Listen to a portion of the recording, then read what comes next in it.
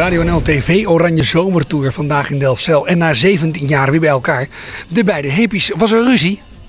Er was wel eh, sprake van eh, een klein eh, misverstand, maar zo breed uitgemeten in de media dat ze zeiden van nou ze hebben elkaar de hersens ingeslagen. Nou nee, zo was het niet. Ja, want heel zwaag Westeinde was geloof ik... eh, Een reproer. Ja, we waren helemaal onder indruk. Nee, bij ons in het dorp wisten ze gelukkig wel dat het niet was wat, eh, hè, wat, wat, wat er in de media gebeurde. Dat heep in heepie, slaas raakt, dan weet ik het allemaal. Nee, het was gewoon, eh, we zouden weer beginnen vier jaar geleden. En dat was gewoon, noem het maar een communicatiestoornis. Jullie hebben nu samen weer een prachtige single uit Ons Dorp. Of op zijn Fries gezegd. Het warp, ja. Ja. Klopt. Nou, die gaat heel goed, heel goed. Ja, Boven heel enthousiast. hè? eh, en eh, ja, hij is nog niet zo heel lang uit. Maar de mensen eh, zingen het mee. Als je in een tent of een zaal speelt, dan gaan ze mee. En eh, ja, dat is natuurlijk, dat wil je graag. Want dat doe je het voor, het publiek.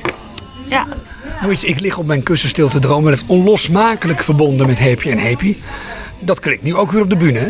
Ja, ja dat, dat willen de mensen toch horen.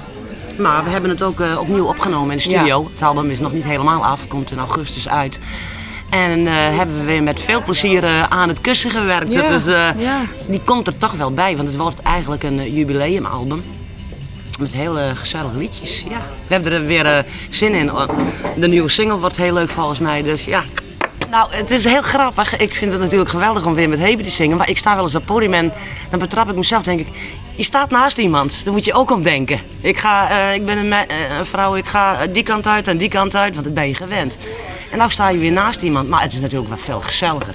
Ja, en eh, op reis naar de optredens is het al een dikke lol in de auto. Ja, heep toch. Ja, zeker. Grootste lol hebben we.